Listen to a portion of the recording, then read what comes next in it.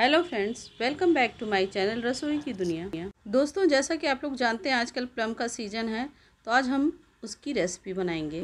दोस्तों, प्लम जिसे हम आलू बुखारा भी कहते हैं, इसे हमने सात से आठ पीस में ले लिए हैं और इसे टुकड़ों में काट लिया है। प्लम खट्टा होता है, इसलिए हमें प्लम और चीनी की क्वांटिटी इक्वल रखनी है। आप चाहें तो थोड़ा ज़्यादा या थोड़ा कम कर सकते हैं। अब हम एक पैन लेंगे और उसमें प्लम डालेंगे और फिर चीनी डाल देंगे फ्लेम लो रखना है हाई बिल्कुल भी नहीं करना है, नहीं तो चीनी जल जाएगी। हम इसे स्लो फ्लेम पे ही पकाएँगे। तो इसी तरह चीनी को मिक्स करने के बाद लीड लगा देंगे और थोड़ी देर इसी तरह कुक होने देंगे। अब हम इसको चलिए बीच में एक बार खोल के चेक कर लेते हैं।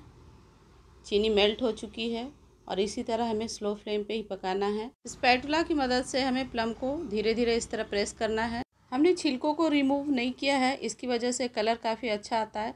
आप चाहें तो छिलके निकाल सकते हैं। इसे थोड़ी देर कुक होने देंगे और फिर इसे हम चेक कर लेते हैं।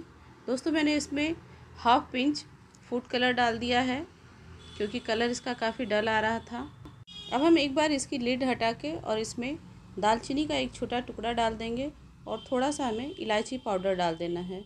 आप चाहें तो स्किप भी कर सकते हैं। अप्रॉक्सीमेटली हो चुका है।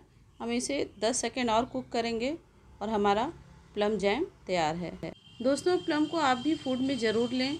ये एंटीऑक्सीडेंट होता है। इसमें वेट लॉस भी होता है। ये कैंसर को भी रोकता है। भरपूर मात्रा में इसमें मिनरल पाए जाते हैं। विटामिन ए और सी पाया जाता है। इसके और भी कई सारे फ़ायदे हैं। इसे ज़रूर ट्राई करें। दोस्तों, अगर आप मेरे चैनल पर नए हैं या अभी तक आपने मेरा चैनल सब्सक्राइब नहीं किया है तो प्लीज़ इसे सब्सक्राइब कर लें और शेयर ज़रूर करिएगा।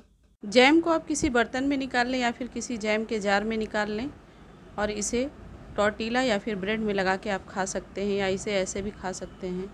इसे आप ऐसे बच्चों को भी खाने के लिए दे सकते हैं। Thanks for watching my video